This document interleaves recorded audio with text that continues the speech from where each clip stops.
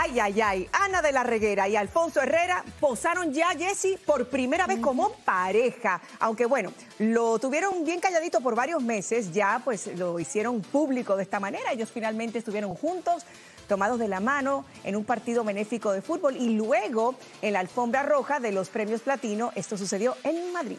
Bueno, como ustedes recordarán, en diciembre, pues Alfonso Herrera dijo que se había separado de la madre de sus dos hijos y la última relación de Ana fue con el también actor Tony Dalton. Así que bueno, ya oficialmente, si lo sabe Dios, que lo sepa el mundo, esta parejita mostró y la verdad que los dos están guapísimos, ¿eh?